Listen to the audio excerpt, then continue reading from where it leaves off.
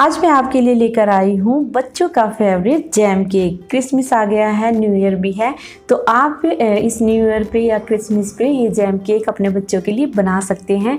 बहुत ही ज़्यादा सॉफ्ट स्पॉन्जी और मॉइस्ट ये केक है और आपको बहुत ही ज़्यादा ये रेसिपी पसंद भी आएगी। आशा करती हूँ आपको ये रेसिपी पसंद आए। आप अपने बच्चों के लिए बना सकते हैं। बच्चों को क्रिसमस पे या न्यू ईयर पे गिफ्ट चाहिए होते हैं तो आप उनके लिए ये जैम केक बना सकती हैं, उनको बहुत ही ज़्यादा ये पसंद आएगा। और ये हमने बिना किसी ओवन के, बिना अंडे के, बिना किसी एक्स्ट्रा चीज़ के यूज़ किए, इसे बनाया है। तो चलिए शुरू करते हैं। हेलो फ्रेंड्स मैं सोनी सोनी फ़ूड स्टाइल में आपका बहुत बहुत स्वागत है। जैम केक बनाने के लिए सबसे पहले मैंने कढ़ाई गैस पर रख दी है। उसमें एक कप हम नमक डाल लेंगे, फैला लेते हैं अच्छे से। एक जाली या कोई भी आप स्टैंड ले लीजिए, वो रख दीजिए। या आप चाहें तो कोई भी आपके पास कटोरी है तो उसे पलट कर या कोई ढक्कन है उसे पलट कर आप रख सकते हैं। अब इसे हम लो फ्लेम पर 10 मिनट के लिए प्री हीट कर लेंगे। ये मैंने केक टीन ली है। आप चाहें तो कोई भी आपके पास बर्तन हो ऐसा तो आप वो ले सकते हैं। आ, मैंने यहाँ केक टीन ली है तो केक टीन ले लेते हैं। इसे हम तेल से या घी से अच्छे से ग्रीस कर लेंगे। और इसमें हम बटर पेपर लगा लेंगे या आप चाहे तो कोई भी नॉर्मल पेपर आप ले सकते हैं। और अगर आपके पास दोनों नहीं हैं तो आप इसमें थोड़ा सा मैदा ले लीजिए, अच्छे से डस्ट करके और जो एक्स्ट्रा मैदा है उसे निकाल लीजिए। मैंने यहाँ नॉर्मल पेपर लिया है, जो बच्चों की नोटबुक में होता है, वो मैंने लिया है। बटर पेपर मैं यहाँ यूज़ नहीं कर रही हूँ, सबके पास नहीं होता है। तो अब इसे हम तेल से या घी से अच्छे से ग्रीस कर लेंगे। हर जगह अच्छे से इसे तेल से ग्रीस कर लेंगे। तो ये बटर पेपर बनकर तैयार होगा। देखिए, आप देख पा रहे होंगे, इसमें हाथ आर पार दिख रहा है, दिखाई दे रहा है। तो ये बनकर तैयार है। ये हम यूज़ करेंगे। अच्छे से सेट कर लेते हैं। केक टिन हमारा रेडी हो गया है। अब हम बैटर तैयार करेंगे। बैटर तैयार करने के लिए बड़ा सा बाउल लेंगे और उसमें तीन चौथाई कप में यहाँ फ्रेश दही का यूज़ कर रही हूँ। आपको फ्रेश दही लेनी है। खट्टे वाला दही बिल्कुल यूज़ नहीं करना है। और एक चौथाई कप मैंने यहाँ रिफ़ाइंड ऑयल लिया है। आप चाहें तो रिफ़ाइंड ऑयल की जगह आप पिघला हुआ बटर भी इतना ही ले सकते हैं। यानी कि चार बड़े चम्मच मैंने यहाँ रिफ़ाइंड ऑयल लिया है। इसे अच्छे से मिक्स करेंगे। बिल्कुल अच्छे से इसे मिक्स करना है। अब एक हम छलनी लेंगे और उसमें डेढ़ कप मैदा डाल लेंगे। तीन चौथाई कप मैंने यहाँ पाउडर शुगर लिया है। अगर आपके पास पाउडर शुगर नहीं है तो आप चीनी को मिक्सी में पीस कर भी ले सकते हैं। एक चम्मच मैंने यहाँ बेकिंग पाउडर लिया है। एक चौथाई छोटी चम्मच बेकिंग सोडा इसे अच्छे से हम छान लेंगे।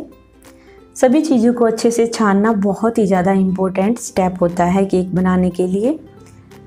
छान लेते हैं और जो एक्स्ट्रा इसमें बच गया है उसे हम निकाल लेंगे। अब इसे स्पैचुला से या आप चाहें तो विस्कर से इसे अच्छे से मिक्स कर सकते हैं। तो इसे मिक्स कर लेते हैं। एक ही डायरेक्शन में हमें इसे मिक्स करना है। अब तीन चौथाई कप मैंने यहाँ दूध लिया है तो थोड़ा थोड़ा दूध हम डालते जाएँगे और बैटर स्मूथ सा बैटर हम तैयार करेंगे। ज़्यादा लिक्विड ही नहीं होना चाहिए, ना ही ज़्यादा टाइट होना चाहिए। तो स्मूथ सा बैटर हमें बनाकर तैयार करना है केक के लिए। एक ही डायरेक्शन में इसे हम चला लेंगे। तो बैटर बनकर तैयार है, आप देख पा रहे हो एकदम स्मूथ बैटर है। अब एक चम्मच मैंने यहाँ वनीला एसेंस लिया है, जिससे बहुत ही ज़्यादा इसमें टेस्ट आएगा, इसका फ्लेवर आ जाएगा। तो स्पैचुला से हम इसे अच्छे से मिक्स कर लेंगे। और अब हम इसे केक टिन में डाल लेंगे।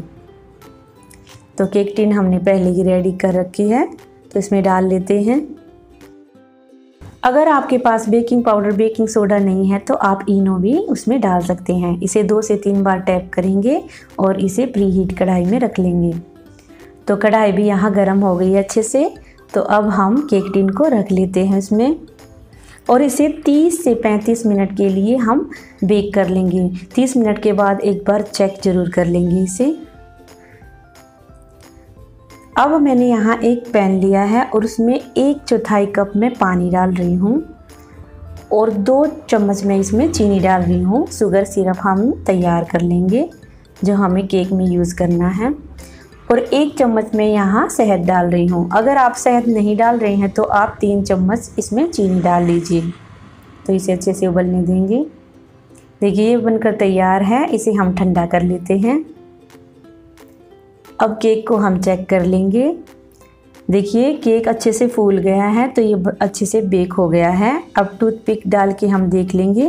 देखिए, टूथपिक बिल्कुल क्लीन निकल रही है तो ये बनकर तैयार है। इसे हम 10 मिनट के लिए ऐसे ही कढ़ाई में छोड़ देंगे और गैस को हम बंद कर देंगे। इसे ठंडा कर लेंगे। अब उसी पैन में मैं जैम डाल रही हूँ तो तीन बड़े चम्मच में यहाँ जैम ले रही हूँ। अगर आपको जैम ज़्यादा पसंद है तो आप ज़्यादा भी ले सकते हैं। तो इसे हम लो फ्लेम पर पका लेंगे अच्छे से। इसका लिक्विड हम तैयार कर लेंगे, लिक्विड घोल। तो इसे अच्छे से चलाते हुए हम लो फ्लेम पर पकाएँगे। हाई फ्लेम बिल्कुल नहीं करना है, नहीं तो ये जल जाएगा। एक चम्मच मैं इसमें शहद डाल रही हूँ। आप कम या ज़्यादा भी डाल सकते हैं, शहद नहीं तो आप एक चम्मच इसमें चीनी भी डाल सकते हैं। तो ये अच्छे से बनकर तैयार है, आप देख पा रहे होंगे। अब हम इसे गैस को बंद कर देंगे और इसे निकाल लेंगे। केक भी अब अच्छे से ठंडा हो गया है। अब चाकू की सहायता से हम इसके किनारे हटा लेंगे और एक प्लेट में हम इसे निकाल लेते हैं। बहुत ही आसानी से निकल जाएगा। अब इसका जो हमने पेपर लगाया है, वो निकाल लेते हैं। आप देख पा रहे होंगे, बहुत ही अच्छे से केक बेक हुआ है। एकदम सॉफ्ट स्पॉन्जी ये बनकर तैयार हुआ है। देखिए। अब हम एक फॉग लेंगे और उसकी सहायता से इसमें हम होल कर लेंगे, यानी कि इसको अच्छे से प्रिक कर लेंगे। देखिए, ऐसे। ऐसे करने से जो हमने चाशनी बनाई है, शुगर सिरप जो हमने बनाया है, वो हम इसके ऊपर डालेंगे तो अंदर तक केक बिल्कुल अच्छे से सॉफ्ट हो जाएगा, एकदम मॉइस्ट केक बन जाएगा। तो चलिए शुगर सिरप जो बनाया है हमने वो डाल लेते हैं। शुगर सिरप को अच्छे से ठंडा होने के बाद ही हम इसमें डाल लेंगे। देखिए, अच्छे से अंदर तक ये चला जाए। जिससे बहुत ही अच्छे से सॉफ्ट ये बनकर तैयार होगा। डाल लेते हैं।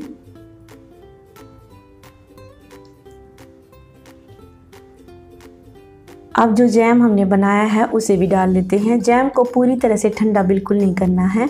हल्का सा हम ठंडा करेंगे। इसे और केक को अच्छे से ठंडा होने के बाद ही जैम का हम गोल डाल लेंगे इसके ऊपर और चारों तरफ़ अच्छे से इसको फैला लेंगे। जैम की लेयर अगर आप ज़्यादा पसंद है तो आप उससे जैम को थोड़ा ज़्यादा भी ले सकते हैं। मैंने तीन चम्मच जैम लिया था बस। अब इसे हम 10 मिनट के लिए फ्रिज में रख देंगे। दस मिनट हो गई हैं जैम अच्छे से सेट हो गया है। अब हम आ, मैंने यहाँ थोड़ा सा नारियल का बुरादा लिया है वो डस्ट कर देंगे जिससे बहुत ही ज़्यादा ये सुंदर लगेगा और टेस्टी भी हो जाएगा। तो जैम केक बनकर तैयार है। आप भी ऐसे जैम केक बना सकते हैं और अपने फैमिली के साथ बच्चों के साथ आप इसे इंजॉय कर सकते हैं। क्रिसमस डे हो या न्यू ईयर हो आ, कोई भी ओकेज़न हो आप इसे बना सकते हैं। और कट करने से आपको पता चल रहा होगा कि बहुत ही ज़्यादा ये सॉफ्ट स्पॉन्जी और एकदम मॉइस्ट है। शुगर सिरप डालने से बिल्कुल अंदर तक सॉफ्ट हो गया है। देखिए। एकदम मॉइस्ट ये केक बनकर तैयार हुआ है। आप भी ऐसे बना सकते हैं। तो चलिए बनाइए, खाइए और अपना एक्सपीरियंस प्लीज़ प्लीज़ मेरे साथ शेयर कीजिए। मुझे कमेंट करके ज़रूर बताइए कि आज की रेसिपी आपको कैसी लगी।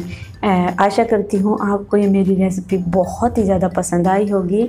अगर पसंद आ रही हैं तो ढेर सारे लाइक कीजिए, अपने फैमिली में फ्रेंड में इसे शेयर भी कर सकते हैं।